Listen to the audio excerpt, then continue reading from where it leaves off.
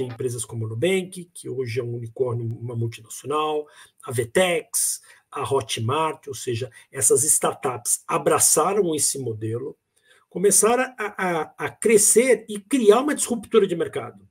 Criar uma disruptura dentro de que você está mais focado e centrado no cliente, um pouco da nossa cultura que eles absorveram, que é ter a obsessão pelo cliente, levar uh, novos serviços e nova tecnologia para o mercado.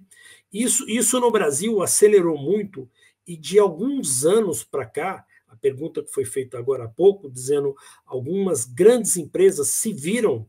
na necessidade de fazer essa transformação. Porque a gente viu muito no segmento de fintechs ah, e no segmento financeiro,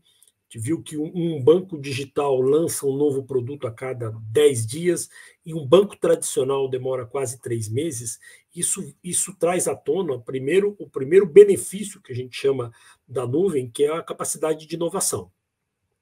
Aquilo que, aquilo que o Edu falou, que essas empresas precisam inovar, essas empresas precisam acelerar essa jornada, veio através dessa, dessa disponibilidade da nuvem, de poder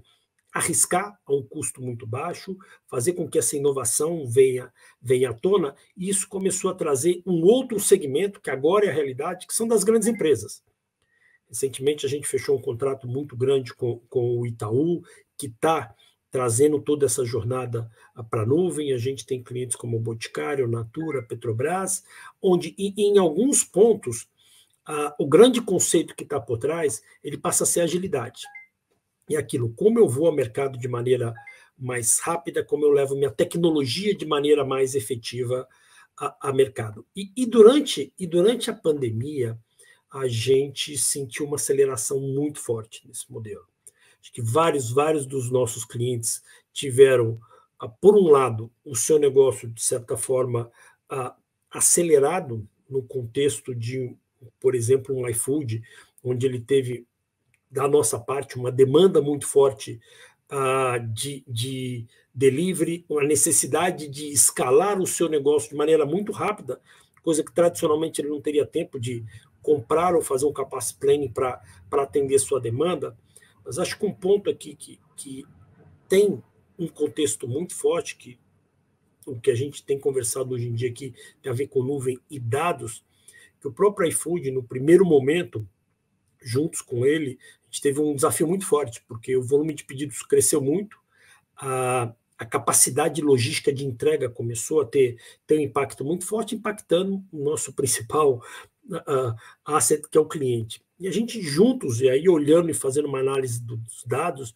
a gente começou a olhar uh, todo o processo de, de compras por um lado, todo o processo de produção do restaurante, qual que era o ciclo, qual é a velocidade, e todo o processo de roteirização dos entregadores. E num projeto já tangibilizando tudo isso que a gente fala de dados, a gente colocou um, um machine learning, a gente analisou todos esses dados em conjunto, e com inteligência artificial a gente conseguiu analisar o processo de produção do restaurante, analisar a roteirização, e a gente diminuiu prazo médio de entrega em 15%, a ociosidade dos entregadores em 50% e a satisfação do cliente em quase 8 pontos. Acho que é isso que começa a fazer o diferencial das empresas nesse momento, de quanto a gente fala, por um lado eu preciso ser mais ágil, por um lado eu preciso inovar, eu acho que esse, esse é o novo contexto que a gente tem no mercado.